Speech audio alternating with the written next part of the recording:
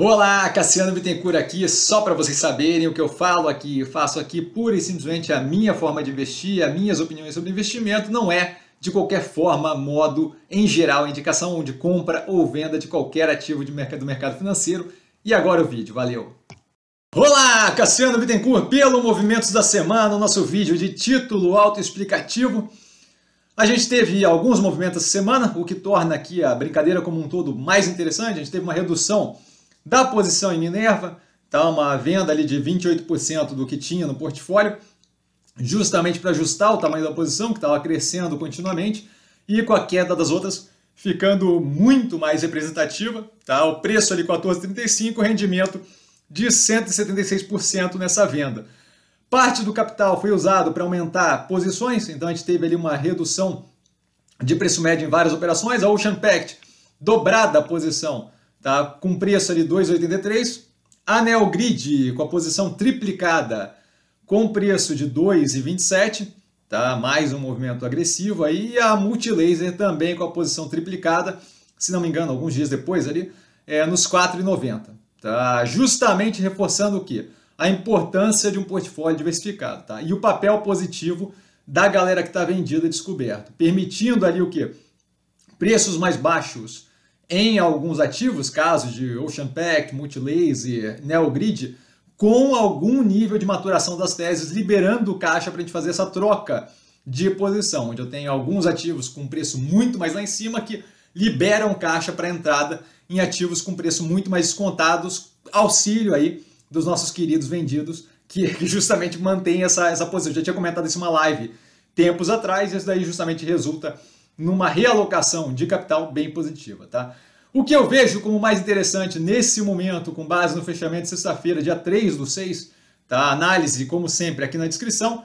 Tá? São os mesmos ativos da semana passada, a gente teve algum nível de volatilidade, mas manteve-se ali os, os, descontos mais agressivos nesses ativos. Né? Então, Boa Vista, que continua bem posicionado, queda sem qualquer sentido, o resultado continua positivo e alinhado. E alinhado, a gente teve a análise é, nova né, nesse, no canal Nessa semana, Ultrapar, com operação, com movimentos, é, operando ali com movimentos de melhoria, tá? melhorando ali, azeitando a operação da Ipiranga e com capacidade de geração de capital, de, de, com capacidade de investimento forte agora, dado justamente o recebimento ali, por exemplo, do, de parte do dinheiro da venda do Oxtena, Clabin, KLBN11, ativo bem posicionado ali no ramo de embalagens sustentáveis, análise como sempre mais aprofundada aqui embaixo, né, no, na descrição, mais uma máquina de papel cartão sendo construída, Craftliner com ramp-up em andamento, operacional financeiro muito positivo. A Modal Mais com preço é, vinculado ali com a XP, o que justamente causa esses movimentos é, voláteis ali que não tem muito a ver com a própria operação dela, muito mais com a possibilidade de substituição da MODL, as ações da Modal pelas ações da XP, né, XPBR31, tá? o ativo ali muito alinhado, especialmente com é, o mando ali da operação da XP. Vale lembrar que a gente ainda não tem definição se vai ter ou não vai ter a substituição desses ativos. Tá? Mobile, com a operação alinhada com a tese de investimento, e aí eu aconselho sempre dar uma olhada no vídeo do IPO, onde a gente comentou exatamente que era uma operação que não tinha break-even ainda, que tinha ali um tempo para uma, uma, uma, posição para galgar, ampliando o Digital, que tem tido resultados bem positivos, especialmente na parte logística. Pressão inflacionária não justifica a precificação, assim como não justifica Guararapes, extremamente descontada descasado ali da evolução da operação, mesmo considerando pressão inflacionária, a economia ainda um pouco devagar.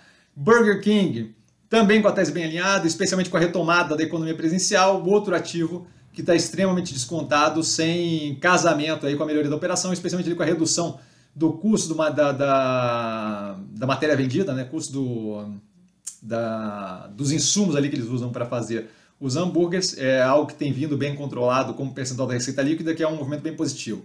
A Mega, Ômega Energia, tese alinhada com o setor, com a evolução, desculpa, do setor energético, com energias sustentáveis, o vínculo ali com energias renováveis, especialmente eólica, muito positivo. Desconto no preço ridiculamente absurdo, sem qualquer sentido.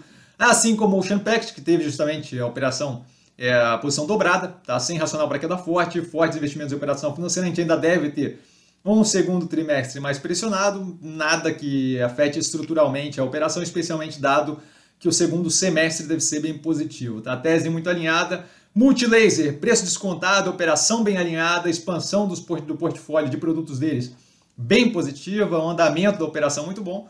A log com a operação muito positiva, o preço consideravelmente descasado do potencial, especialmente dado o vínculo com o last mile de entrega de e-commerce, que é algo que tem crescido demais. A Neogrid derretida sem justificativo, que justamente permitiu uma triplicada do tamanho da posição ali. A tese alinhada com foco em cadeia de suprimento, bem positivo, especialmente com esse foco recente do CEO querendo vincular a operação às áreas que dão mais rendimento para eles. A Fleury com a tese extremamente alinhada, mais um acordo com a Beneficência Portuguesa recentemente, que é mais uma expansão ali para o One Stop Shop de saúde, um lugar onde eu tenho toda a gama de serviços disponível, não vejo qualquer racional para o derretimento.